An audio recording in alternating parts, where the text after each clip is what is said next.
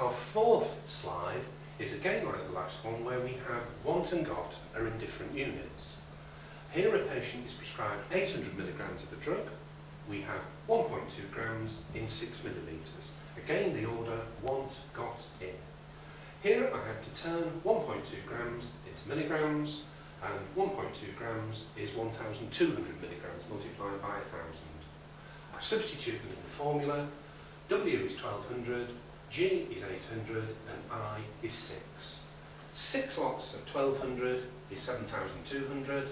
7200 over 800 becomes 72 over 8 after some cancelling and 8 into 72 is 9. So we need 9 millilitres of stock